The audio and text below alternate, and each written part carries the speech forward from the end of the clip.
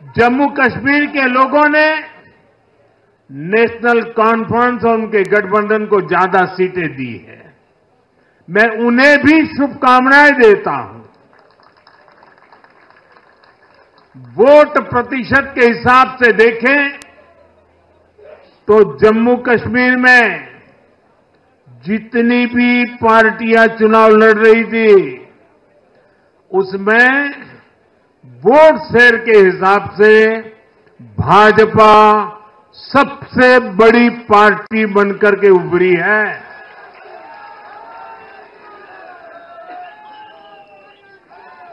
मैं हरियाणा और जम्मू कश्मीर में जीत हासिल करने वाले सभी उम्मीदवारों को भी बहुत बहुत बधाई देता हूँ। मैं हरियाणा और जम्मू कश्मीर की जनता को भी बहुत बहुत बधाई देता हूँ। मैं सभी भाजपा कार्यकर्ताओं को उनके तप और तपस्या के लिए नमन करता हूँ।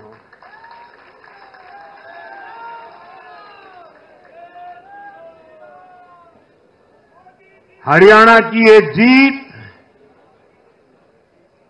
कार्यकर्ताओं के अथाग परिश्रम का परिणाम है। हरियाणा की ये जीत, नड्डा जी और हरियाणा की टीम के प्रयासों की जीत है। हरियाणा की ये जीत अतिशय नम्र, विनम्र ऐसे हमारे मुख्यमंत्री जी के कर्तव्यों की भी जीत है। साथियों, आज हरियाणा में झूठ की गुट्टी पर विकास की गारंटी भारी पड़ी है। हरियाणा की जनता ने नया इतिहास रच दिया है। शायद आप लोगों को पूरी जानकारी नहीं होगी। हरियाणा का गठन 1966 में हुआ था। इतने वर्षों में बड़े बड़े दिग्गजों ने इस राज्य का नेतृत्व किया। शायद हिंदुस्तान में बहुत कम राज्य के नेता ऐसे होते हैं जिनको पूरा हिंदुस्तान जानता है। एक जमाना था हरियाणा के इन दिग्गज नेताओं का नाम पूरे देश में चर्चा में रहता था। हरियाणा में अब तक तेरह चुनाव हुए, तेरह। तेरह चुनावों में से दस चुनावों में हरियाणा के लोगों ने हर पाँच साल के बाद सरकार बदली। लेकिन इस बार हरियाणा के लोगों ने जो किया है, वो अभूतपूर्व है। वो पहले कभी नहीं हुआ। पहली बार ऐसा हुआ है।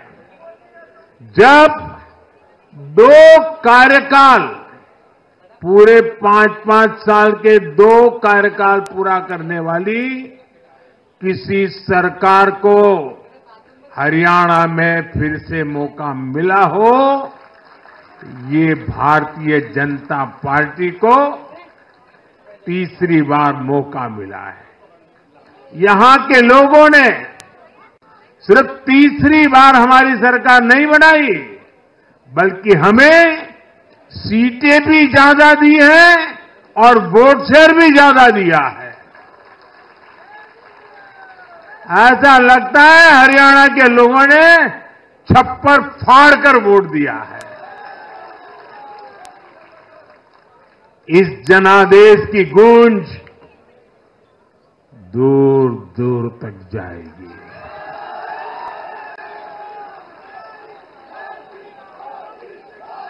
साथियों, भाजपा दुनिया का सिर्फ़ सबसे बड़ा दल ही नहीं है। भाजपा सबसे ज़्यादा दिलों में भी बसी हुई है। हरियाणा में जनता ने विकास के मुद्दे पर भाजपा की हैट्रिक लगाई। भाजपा ने कांग्रेस के कुशासन से मुक्ति दिलाई। इसलिए गुजरात और मध्य प्रदेश की जनता दो दशक से भी ज़्यादा समय से वहाँ अपना आशीर्वाद बनाए हुए है। अरुणाचल प्रदेश और गोवा में तीसरी बार भाजपा ने सरकार बनाई है। यूपी और बिहार में कानून का राज स्थापित करने वाली भाजपा एनडीए की सरकार को लोग बार बार मौका दे रहे हैं। असम, त्रिपुरा और उत्तराखंड में लगातार दो टर्म से भाजपा की सरकार है। जहाँ जहाँ भाजपा सरकार बनाती है, वहाँ की जनता लंबे समय तक भाजपा को समर्थन देती है। और दूसरी तरफ़, कांग्रेस की हालत कैसी है? पिछली बार कब कांग्रेस की किसी सरकार की वापसी हुई है?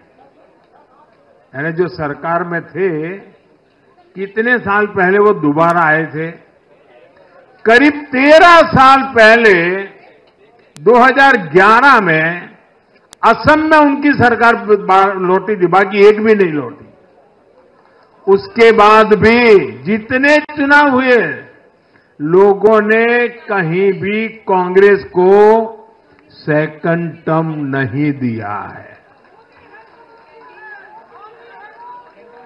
आपको जानकर के हैरानी हो जाएगी दोस्तों, देश में कितने ही राज्य हैं जहाँ कांग्रेस कभी 60 साल पहले वहाँ थी, कहीं पर 50 साल पहले थी, कहीं पर 40 साल पहले थी 50 50 60 साल से वो सत्ता में आई ही नहीं है। एक बार लोगों ने निकाल दिया, कांग्रेस को घुसने नहीं दिया है। देश के ज़्यादातर राज्य के लोगों ने कांग्रेस के लिए नो एंट्री का बोर्ड लगा दिया है। पहले कांग्रेस सोचती थी कि वो चाहे काम करे या न करे, लोग तो उसको वोट देंगे ही। लेकिन अब कांग्रेस की पोल खुल चुकी है। उसका डिब्बा गोल हो चुका है। साथियों, कांग्रेस सत्ता को अपना जन्म सिद्ध अधिकार मानती है। सरकार में ना रहने पर कांग्रेस की हालत जल बिन मछली जैसी हो जाती है। इसलिए वो सरकार में आने के बाद देश को, समाज को भी दांव पर लगाने से नहीं हिचकती आज पूरा देश देख रहा है कि कैसे कांग्रेस हमारे समाज में जाति का जहर फैलाने पर उतर आई है। जो लोग चांदी नहीं, सोने का चम्मच मुँह में लेकर पैदा हुए, जो लोग पीढ़ी दर पीढ़ी फाइव स्टार लाइफ जीते आ रहे हैं, वो गरीब को जाति के नाम पर लड़वाना चाहते हैं। हमारे दलित, पिछड़े, आदिवासी समाज को भूलना नहीं है। ये कांग्रेस है, जिसने दलितों, पिछड़ों पर सबसे ज़्यादा अत्याचार किया है। ये कांग्रेस है, जिसने उन्हें इतने दशकों तक रोटी, पानी, मकान से वंचित रखा। ये वो लोग हैं जो सौ साल बाद भी सत्ता मिलने पर कभी किसी तो इनके पेट में चूहे दौड़ने लग जाते हैं। हरियाणा भी इन्होंने दलितों को, ओबीसी को भागीदारी देने से साफ़ इनकार कर दिया था। उन्होंने दलितों और पिछड़ों को भी अपमानित किया। कांग्रेस के शाही परिवार ने तो डंके की चोट पर कहा कि वो आरक्षण खत्म कर देंगे। दलित और पिछड़ों का आरक्षण छीनकर कांग्रेस अपने वोट बैंक में देना लगातार आग लगाने की कोशिश कर रहे हैं। देश ने देखा कि कैसे किसानों को भड़काने का प्रयास हुए, लेकिन हरियाणा के किसानों ने उन्हें करारा जवाब दिया कि वो देश के साथ है, वो भाजपा के साथ है। हमारे दलित, ओबीसी साथियों को भड़काने की कितनी ही कोशिशें हुई। क्या क्या प्रपंच नहीं किए गए। लेकिन इस समाज ने भी इस षड्यंत्र को पहचाना और कहा कि वो देश के साथ है, भाजपा के साथ है। इन लोगों ने हमारी सेना को लेकर भी अपप्रचार किए। हमारे नौजवानों को भड़काया। इस साजिश को भी हरियाणा के नौजवानों ने नाकाम कर दिया। आज हरियाणा ने कांग्रेस को दो टूक संदेश दे दिया है। ये देश विरोधी पॉलिटिक्स नहीं चलेगी। हरियाणा की हर बिरादरी, हर परिवार ने एकजुट होकर वोट दिया। देशभक्ति से ओतप्रोत होकर वोट दिया। देशभक्तों को बांटने की साजिश को हरियाणा ने फेल कर दिया। साथियों, बीते कुछ समय से भारत के विरुद्ध भांति भांति के षड्यंत्र चल रहे हैं।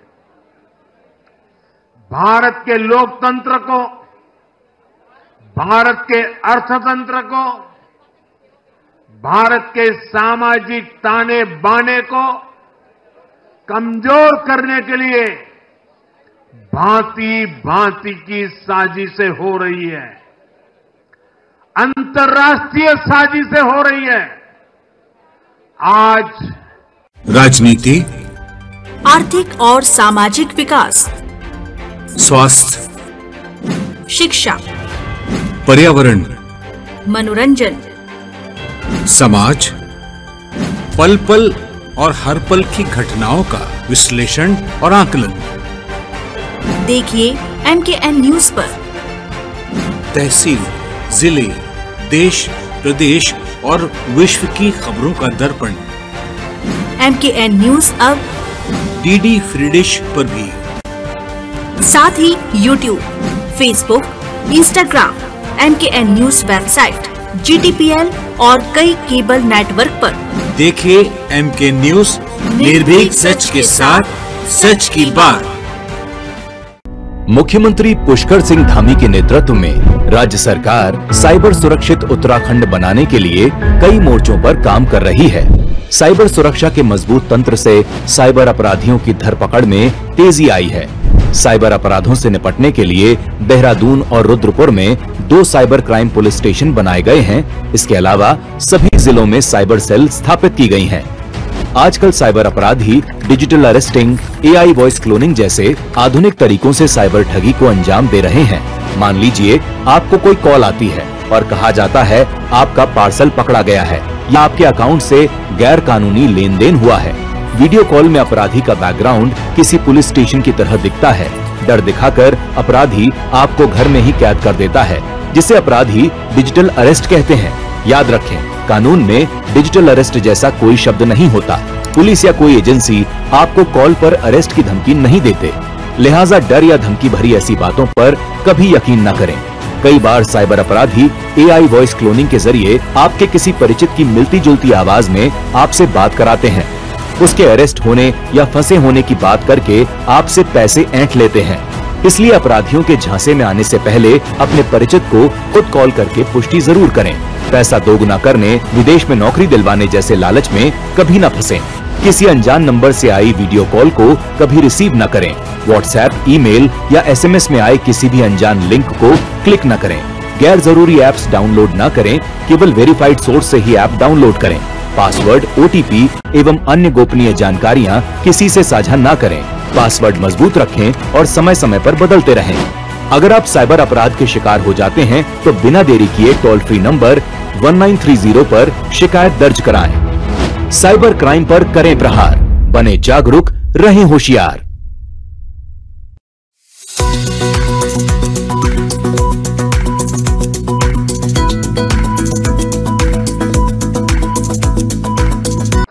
साथियों, कांग्रेस एक ऐसा देश बनाना चाहती है, जहाँ लोग अपनी ही विरासत से नफरत करते हो, नफरत करते हो, अपनी राष्ट्रीय संस्थाओं पर शंका करते हो, जिस जिस पर देशवासी गर्व करते हैं, कांग्रेस उस हर चीज़ की छवि को दुमिल करना चाहती है। देश का चुनाव आयोग हो देश की सेना हो, हमारी पुलिस हो, देश की न्यायपालिका हो, कांग्रेस हर संस्था पर दाग लगाना चाहती है। आपको याद होगा, लोकसभा चुनाव का परिणाम आने के पहले इन्होंने किस तरह का कोहरम मचाया था। चुनाव के दौरान भी ये लोग इनको सहयोगी दल, इनके अर्बन नक्सल साथी कितनी बार कोर्ट गए? सुप्रीम कोर्ट तक गए। और किस लिए? ताकि ये लोग चुनाव आयोग की संवैधानिक निष्पक्षता पर बट्टा लगा सके। आज उन्होंने ऐसा ही काम किया है। आज भी कांग्रेस ने देश की जनता को गुमराह करने की कोशिश की है। कांग्रेस हर बार यही कोशिश करती है कि हमारी संस्थाओं की निष्पक्षता पर सवाल उठाए, उसकी प्रतिष्ठा पर आघात करे। कांग्रेस की यही आदत रही है। कांग्रेस बड़ी बेशर्मी से ऐसी करतूतें करती आ रही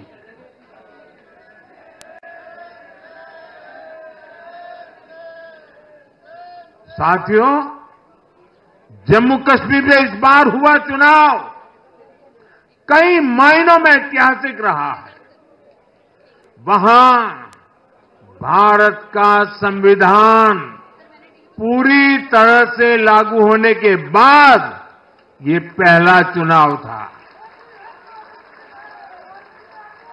आज़ादी के सात दशक बाद भी अनेक लोगों को वोट डालने का हक नहीं था। उन्होंने भी पहली बार इस चुनाव में अपना वोट डाला है। कुछ लोग कहते थे कि आर्टिकल 370 हटा तो कश्मीर जल जाएगा। लेकिन कश्मीर जला नहीं। कश्मीर और खूबसूरती से खिला है, खिल खिलाया है। जिस तरह लोगों ने बाहर आकर रिकॉर्ड नंबर में वोट डाले वो हर हिंदुस्तानी के दिल को खुश करने वाला है। हमारा जम्मू कश्मीर कर्फ्यू और अलगाववाद के कालखंड से बाहर निकल रहा है। 1947 के बाद पहली बार हमारी सरकार ने जम्मू कश्मीर में बीडीसी के चुनाव कराए। आज पहली बार प्रशासन के हर स्तर पर, फिर चाहे वो विधायक हो, बीडीसी हो, डीडीसी हो, हर स्तर पर अब जनता द्वारा चुने हुए प्रतिनिधि काम करेंगे। हमने जम्मू कश्मीर में संविधान की स्पिरिट और उसकी मर्यादा की पुनः प्रतिष्ठा की। बाबा साहब आम्बेडकर को इससे बड़ी श्रद्धांजलि क्या होगी? साथियों, मैंने विकसित भारत के लिए चार स्तंभों की चर्चा बार बार उस चर्चा को आपके सामने रखा है। ये चार स्तंभ किसान, युवा, महिलाएँ और गरीब। जम्मू कश्मीर हो या हरियाणा, हम विकास को इन्हीं चार धाराओं के, चार स्तंभों के बलबूते पर देश को विकसित भारत बनाने की दिशा में आगे बढ़ रहा है। इनको सशक्त करना ही भाजपा की प्राथमिकता है। हरियाणा के गरीब तो पिछले दस साल से डबल इंजन की सरकार का काम देख रहे हैं। मुफ़्त इलाज की सुविधा से लेकर नल से जल और पक्के घर तक हरियाणा के गरीब परिवारों को अनेक सुविधाएँ मिली है। अब हरियाणा की भाजपा सरकार गरीब कल्याण के काम को और अधिक गति देगी। साथियों, हरियाणा तो कृषि के मामले में देश के अग्रणी राज्यों में शामिल है। हरियाणा की इस ताकत को भाजपा और मजबूती देने वाली है। हमारा लक्ष्य एकदम साफ़ है, भाजपा सरकार हरियाणा के किसानों की उपज को दुनिया के बाजारों तक पहुंचाना चाहती है।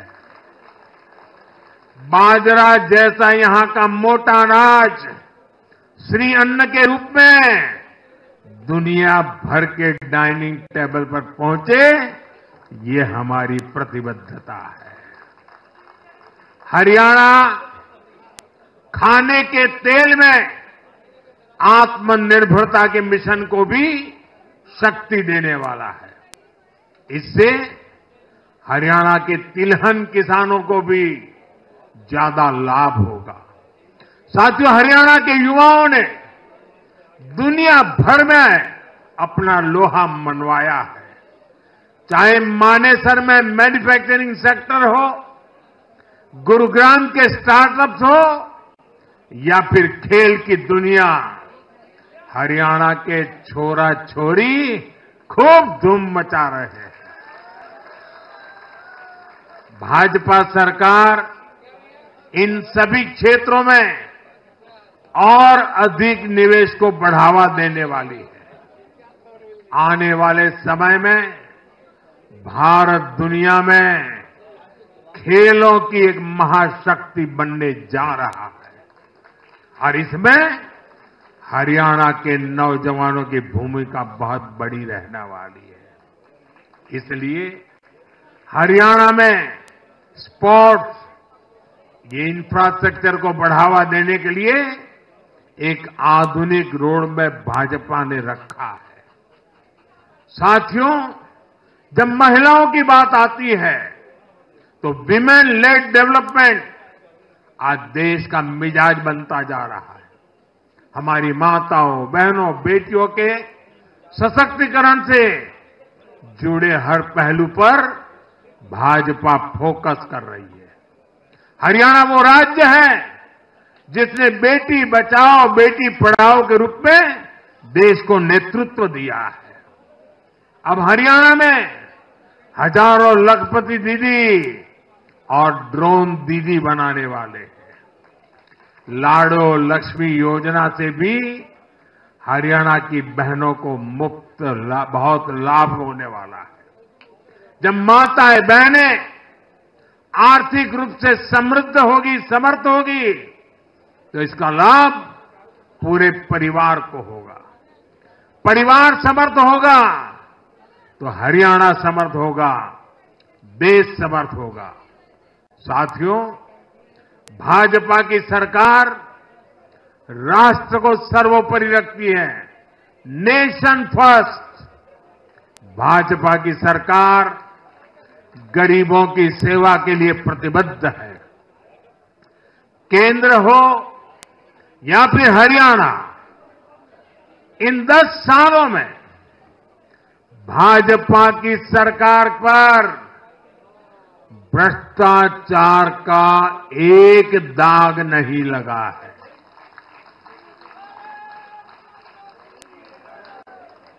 केंद्र सरकार पर जैसे दाग नहीं लगा है, वैसे ही हरियाणा सरकार 10 साल चलाई हमने, भ्रष्टाचार का कोई दाग नहीं है। हमने सिर्फ़ और सिर्फ़ समर्पण भाव से जनता के विकास के लिए काम किया है। और मैं इसके लिए हरियाणा के मुख्यमंत्री भाई नायब सैनी जी और पूर्व मुख्यमंत्री श्रीमान मनोहर लाल जी की भरपूर तारीफ़ करता हूँ, भरपूर प्रशंसा करता हूँ। उन्होंने हरियाणा के विकास के लिए बहुत मेहनत की है। साथियों जब जनता ऐसे काम को प्रोत्साहित करती है, नेक नियत और अच्छी नीति को सराहती है, तब काम करने की ऊर्जा भी दोगुनी होती है। हरियाणा ने भाजपा सरकार को प्रोत्साहित किया है। जम्मू कश्मीर ने भी भाजपा को प्रोत्साहित किया है। यह आशीर्वाद हमें और भी अधिक मेहनत करने के लिए प्रेरित करते हैं। और मैं इसके लिए जम्मू कश्मीर और हरियाणा की जनता को भी फिर एक बार हृदय से बहुत बहुत साधुवाद करता हूँ। आज के जनादेश से भारत को दुनिया की तीसरी बड़ी आर्थिक ताकत बनाने का संकल्प और मज़बूत हुआ है। इस जनादेश ने भारत को दुनिया की स्किल कैपिटल बनाने के संकल्प को भी मजबूती दी है। आपने हर उस प्राण, हर उस प्रेरणा को सशक्त किया है, जिसका मकसद करोड़ों लोगों को गरीबी से बाहर निकालना है। ये जनादेश भारत को और अधिक सुरक्षित बनाने के लिए, कठिन से कठिन फैसले लेने के लिए भी नया हौसला देगा। मैं आप सभी को, पूरे देश को फिर ये भरोसा देता हूँ कि आने वाले पाँच साल और तेज विकास के होंगे। हरियाणा विकसित होगा। जम्मू कश्मीर विकसित होगा, भारत विकसित होगा, और ये हम करके दिखाएँगे। मैं एक बार फिर हरियाणा और जम्मू कश्मीर की जनता का आभार व्यक्त करता हूँ। आप सब कार्यकर्ताओं का जितना अभिनंदन करूँ, उतना कम है। देश के कोने कोने में आज भारतीय जनता पार्टी जो कुछ भी है, हर संघर्ष को पार करते हुए भारतीय जनता पार्टी ने जनता के दिलों में जो जगह बनी है, उसके मूल में भाजपा के कार्यकर्ता है। भाजपा के कार्यकर्ताओं का परिश्रम है। भाजपा के कार्यकर्ताओं की त्याग तपस्या है। और इसलिए विजय के उस उत्सव में मुझे बार बार मेरे कार्यकर्ताओं की याद आना बहुत स्वाभाविक है। उनके प्रति अहोभाव व्यक्त करना मेरा स्वाभाविक मन करता है। और इसलिए टीम स्पिरिट के साथ कंधे से कंधा मिलाकर, कदम से कदम मिलाकर लक्ष्य की ओर बढ़ते जाने वाले भारतीय जनता पार्टी कार्यकर्ता न रखने वाले हैं, न थकने वाले हैं और झुकने का तो सवाल ही नहीं उठता है। मैं फिर एक बार आप सबका बहुत बहुत धन्यवाद करता हूँ, अभिनंदन करता हूँ, देशवासियों को भी। मैं उनके आशीर्वाद के लिए प्रणाम करता हूँ। मेरे साथ बोलिए, भारत माता की। भारत माता की। भारत माता की। भारत माता की, भारत माता की, भारत माता की, भारत माता की, भारत माता की। बहुत बहुत धन्यवाद।